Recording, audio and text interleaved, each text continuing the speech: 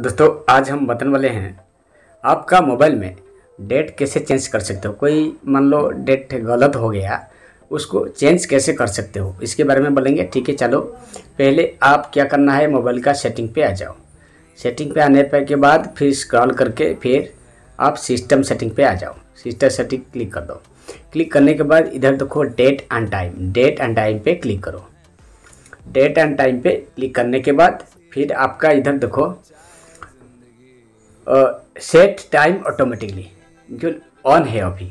Automatically time वो set के लिए जो ऑन लिखा है, इसको पहले आप अप कर देना है। देखो अप करने के बाद डेट एंड टाइम ये दोनों आ गया।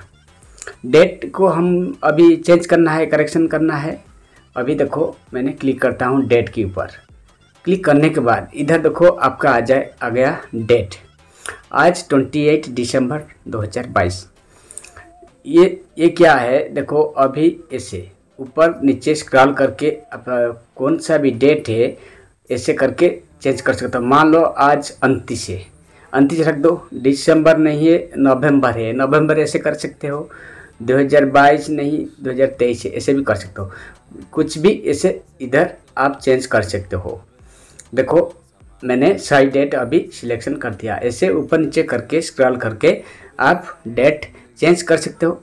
बस, चेंज करने के बाद फिर आपको क्या करना, ये तो हो गया, आप इधर से जैसे होगा, वही स्क्रीन के ऊपर शो करेगा। फिर इसके बाद सेट टाइम ऑटोमेटिकली ऑन कर देना है। ऑन करने के बाद वही टाइम सेट होके रह जाएगा।